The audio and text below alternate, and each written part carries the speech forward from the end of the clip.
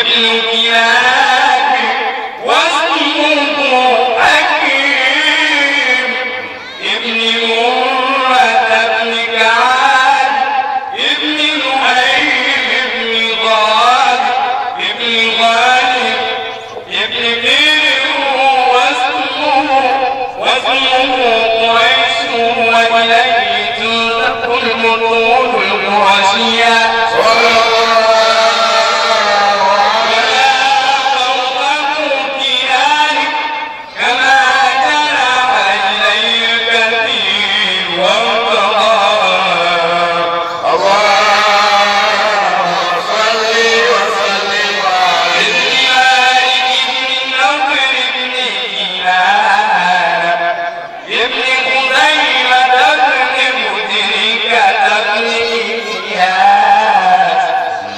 وأرحم من أمن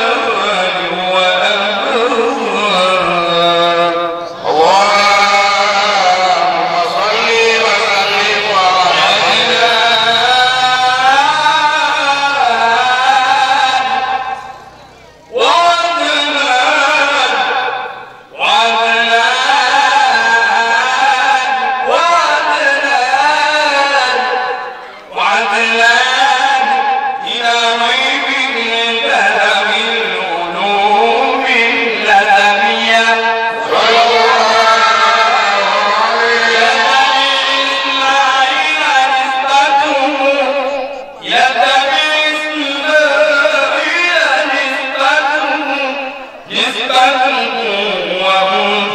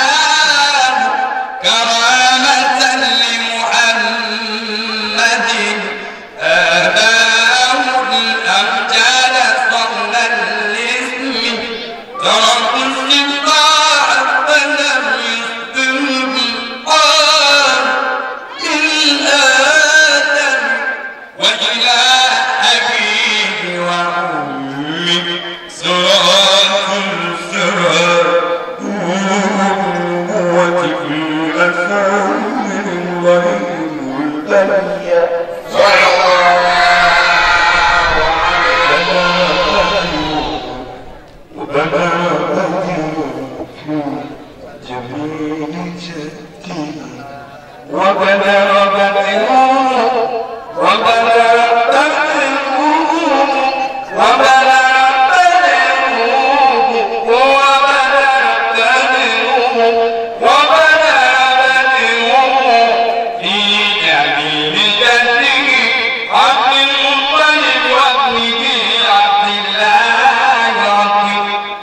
아멘.